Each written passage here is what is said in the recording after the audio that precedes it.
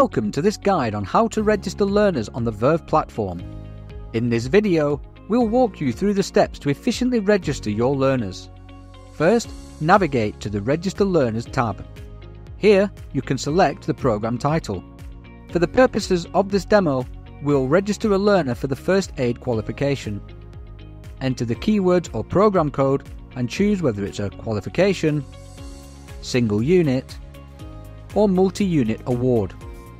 Next, click Find Programs. This displays a list of qualifications your centre is approved to deliver, as well as those in our database matching those keywords.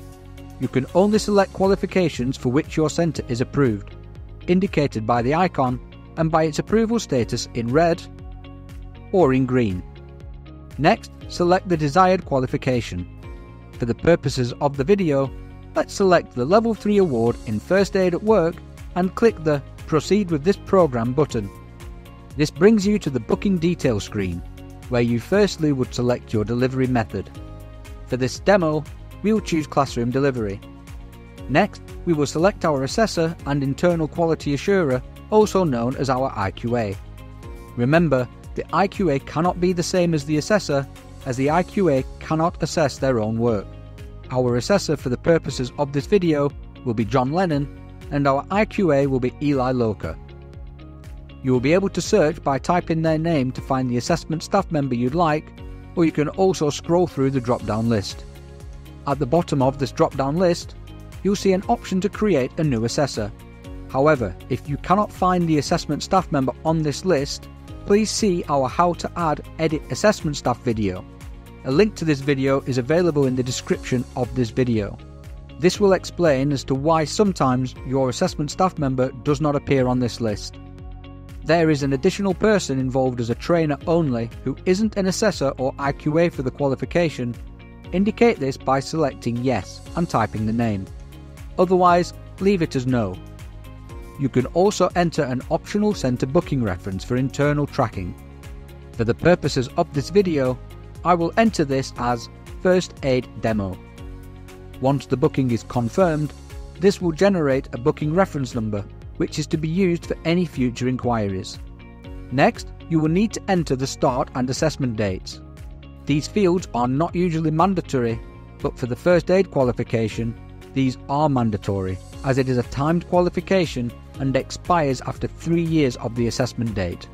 For the purposes of this video, as this is a three day course, we will start the course on July 2nd and set the assessment date to July 4th. When the certificate prints, it will say that these learners have three years from the date listed here in which their certificate is valid.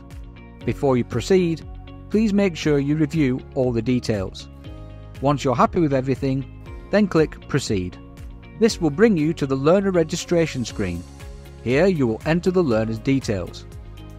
It might seem like a lot of information is required, but you only need to fill in the fields marked with an asterisk.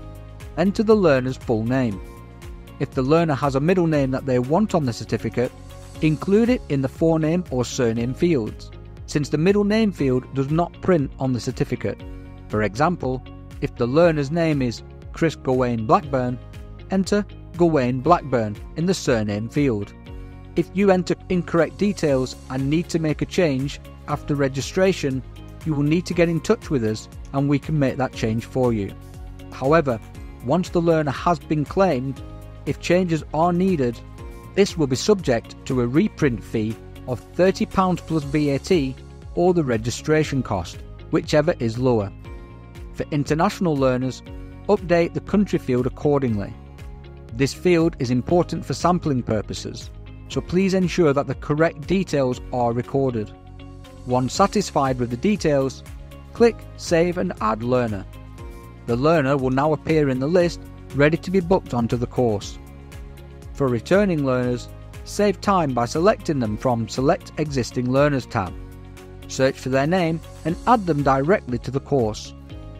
This is useful if a learner has previously completed a course with you and is now enrolling in a new one. The learner will now appear in the registration list at the bottom of the screen. If a learner has been added by mistake, click the X next to the learner's name to remove them from the booking. Note that after clicking Proceed, the learner cannot be removed. so double check everything before proceeding. If handling a large group of learners, consider a bulk upload. Click Import CSV file and follow the provided steps. First, download the empty CSV template, then fill in the necessary information. Required fields will be marked with an asterisk on the template. The ID field is a toggle, so enter the number 1 to indicate that the ID has been seen, which will activate the toggle. Save the file in its original .csv format as other extensions will not work. Upload the completed template back into the system. The system will indicate any errors and pull existing records where possible. Ensure all learners are correct and haven't been duplicated. If a bulk upload does not pull through a learner, add them manually to save time and avoid errors. Once satisfied with the learners ready to be booked, click Proceed to go to the summary screen. Here you can review program details, delivery method, and learner information. Ensure the Go Paperless box is correctly selected or deselected based on the preference. Remember, hard copies incur a £2 surcharge, and to order a hard copy after the learner has been certified as paperless, this will be subjected to a charge of £30 plus VAT or the cost of registration, whichever is lower. Next, select your payment method. You can pay by debit and credit card for immediate confirmation, request an invoice, or use prepaid licenses if available. Note that registrations are only confirmed once payment is processed, which can take 2 to 5 working days for the pay by invoice method. Note that payment methods cannot be split within a booking. For instance, if selecting pay monthly, all learners in the booking must be paid using this method. If you wish to pay by license, ensure there are enough licenses to cover all learners on the booking. If not, consider making a separate booking for each learner with different payment methods. For this demonstration, we will select Pay Monthly and enter a test purchase order number.